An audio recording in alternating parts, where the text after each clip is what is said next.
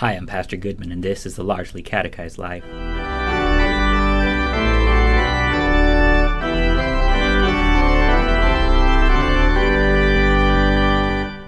Okay, so my four year old knows that my first name is Harrison, but he still calls me Dad.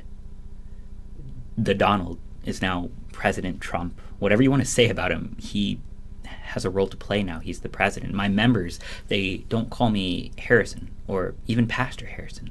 They call me Pastor Goodman. And it's not just that this is how we show respect by using the proper title. This is a confession of faith. This is a confession of hope that God will actually work through the office that He has given these men into. God will be the one to get stuff done through this guy. And that's important because honestly, I don't want the guy, I want the help. The reason that my son calls out dad in the middle of the night when he has a bad dream or even just when he wants a snack is because, well, Harrison isn't going to do.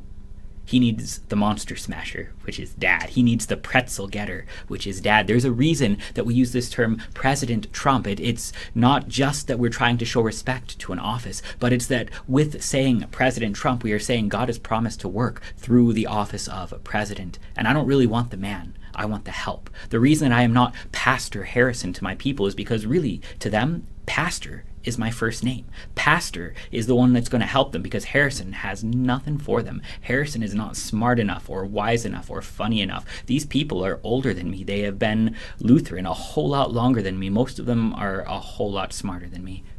But God has promised to work through pastor.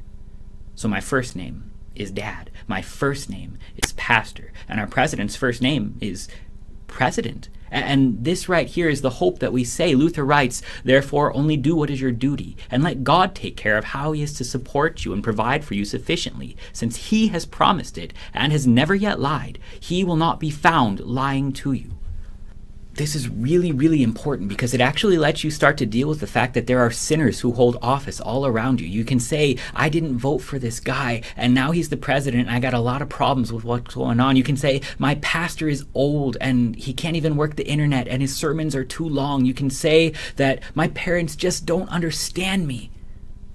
And it's okay because, well, God is still going to work through them. And so firmly can we say this that we actually put aside their quirks and their flaws and their sins and all the warts on their noses and we call them, well, God's own hands. We call them by the places where God has promised to work. We call them mom and dad. We call them president. We call them pastor. And then we don't worry so much because at the end of the day, God has not lied to you yet. Christ has been crucified and raised for you. You are a baptized child of God. You have been so firmly sealed unto the resurrection of the body and the life everlasting that God has no choice but to carry you from here all the way to there. And so, in the meanwhile, just worry about your neighbor.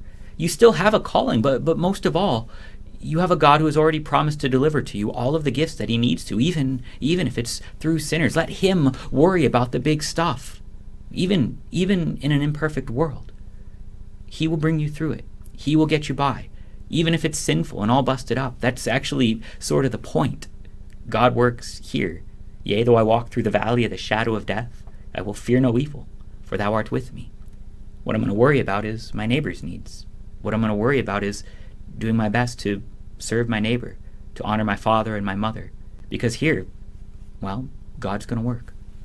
Higher Things thanks you for your support. Please continue to support the work we do with youth by going to our website at higherthings.org, clicking on support, and donating securely through PayPal.